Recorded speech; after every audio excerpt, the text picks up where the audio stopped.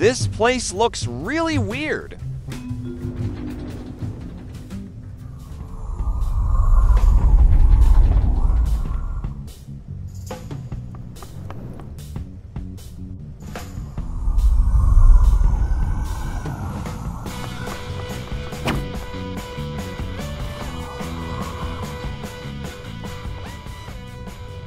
It was close.